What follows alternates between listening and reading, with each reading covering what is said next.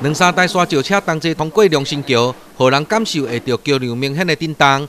就是这款的情况，和时常来往水里信义的民众，感觉有淡薄仔唔对，更烦恼桥梁安全是毋是出问题啊？即摆来吼，那像感觉讲迄个桥梁吼，较早无摇晃的那么厉害，尤其是沙沙石车若经过，啊，咱若若同时并行安尼吼，安尼摇晃的，伊比以前搁较厉害。咱是感觉伊这安全有问题。是啊，是啊，是啊，是毋是讲请咱的有关单位哦，甲咱注重着哦，咱这个水利甲信誉的生命的的问题安尼吼，是毋是讲请那个相关单位甲咱注重安尼？其实良心桥的安全问题，公路局信义工务单早就已经发觉。信义工务单指出，自八十四年河北风台以后，良心桥遭受多处风台大水损害。虽然经过数次补强，目前桥梁结构安全经过评估并无问题。但是，伫沙石车大量行驶下，难免对桥梁安全造成威胁。因此，目前已经公告禁止二十一栋以上沙石车行驶良心桥。有时候走过去的话，它有三四台哈，那个连接在一起哈，啊，它的经过的晃动哈，它的那个受到我们的桥梁哈是是有很大的影响的。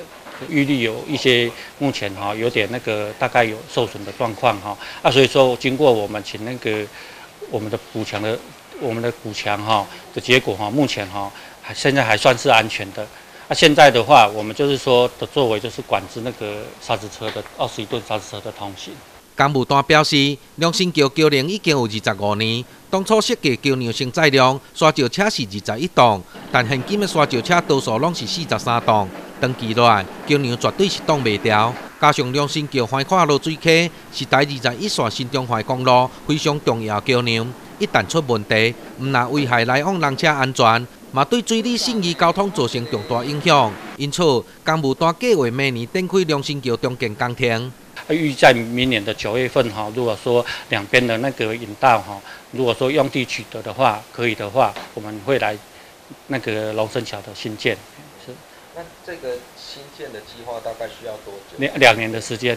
工务段强调，良心桥改建将另外选择地点开辟新桥，因此改建工程中，原来良心桥会当继续通行。如果土地处置顺利，预估在民国一百零四年下半年完成改建工程。记者王兆成采访报道。